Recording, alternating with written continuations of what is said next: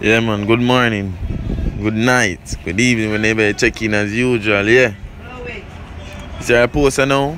This post was made by Vybz Kartel himself, the world boss. Yeah, and as you can see, it's a Stylo G remix featuring Nicki Minaj. And as you can see, the question sign. And him tag the whole of them tonight. Tag the question sign, him tag Nicki Minaj, him tag Stylo G. And in one of the posts them, as you can see, him tag him face tonight. Him put in him face. And one of them him tag TJ name tonight. As you can see in the question sign too.